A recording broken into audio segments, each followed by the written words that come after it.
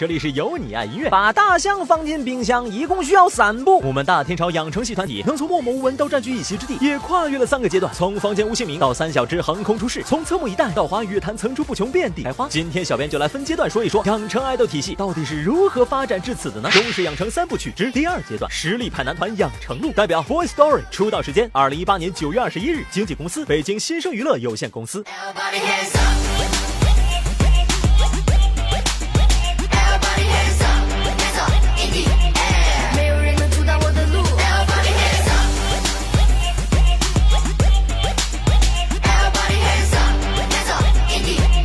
经过 TFBOYS 的大成功，谁人都想要分得一杯羹。为 TFBOYS 创作过《青春修炼手册》《宠爱》等多首大热单曲的制作人刘佳和 TFBOYS 幕后功臣黄睿腰杆硬，不谋而合，自立门户，都来搞二点五次元偶像。刘佳带着十二星宿企划，联手人气漫画家幽灵馒头，以漫画形式出道，写了一首又一首短视频神曲，却欲歌红人不红。Oh my god，我已经爱上他，真是特别的。喝了几罐药水中的魔法，街上溜溜达达，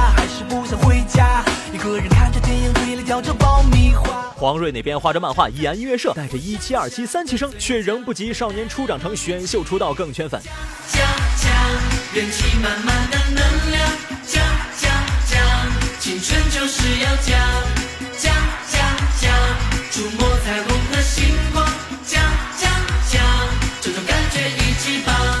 日系男学韩系出招，JYP 看着老满 SM Rockies 起步尚可，自己飞到中国参加怪叔叔来了，发掘大天朝小孩组未成年爱豆组 Boy Story，秘密训练一年就已不输成年爱豆的业务能力，精准定位 Hip Hop 男团，不断发力，专注运营男团路。二零一七年南固出道至今，已经发表了十五首单曲，开启中国、泰国、韩国等多地路演模式，举办四场 showcase，三场国内大歌舞台，更是凭借出色的舞台表现力，成为有你乐榜样第五期 and 第八期直播点赞一位。My Life is a 你们有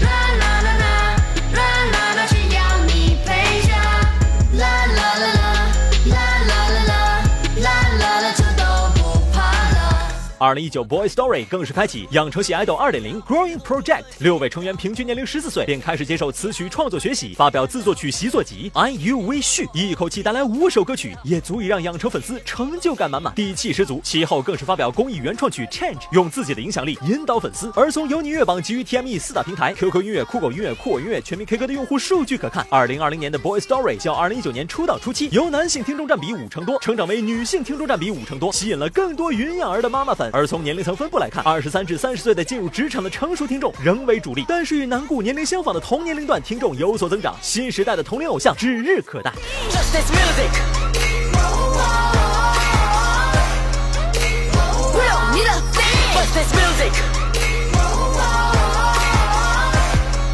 尽管国内的少年团不少，但是 Boy Story 的出现依旧让人眼前一亮。在少年团中，很少看到触及 Hip Hop 领域的，而他们在 Hip Hop 领域并非浅尝辄止，而是切切实实的推出专辑来宣告自己对音乐热爱的态度。今年发表的自作曲练习专辑《续》的发展潜力很大，他们用音乐实现了概念表达，不仅有少年的成长，还有少年的喜怒哀乐等充沛的情绪。个人比较喜欢第二首歌《如果》，编曲里的电吉他 RE 非常酷。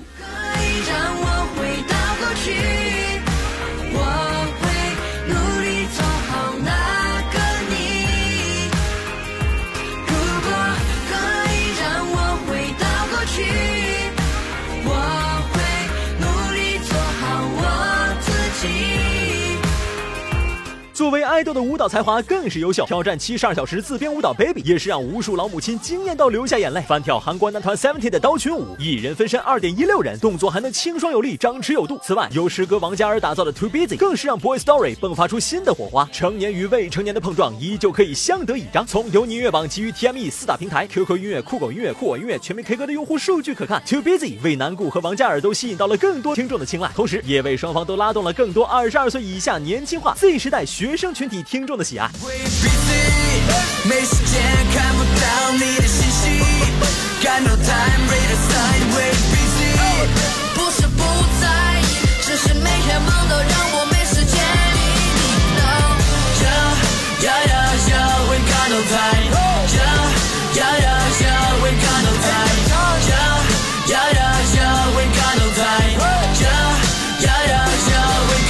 有着鲜明态度和个性的 Boy Story 打破了国内养成市场上从零开始一步一脚印的传统模式。就像他们各种所说的，当你们还在避风港里享福，我们已经离开了父母在吃苦。超高强度的练习，成就突出的业务能力与与日俱进的才华，令各位老母亲们入坑躺平再难出。如此这般的小小少年们，实在是未来可期。期待他们打破爱豆只能去演戏、唱跳舞台都没戏的现状，为我们带来更多惊艳的现场吧。Oh my gosh，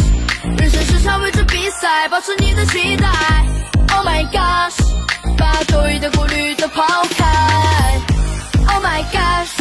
不停的奔跑不知疲惫。Oh my gosh，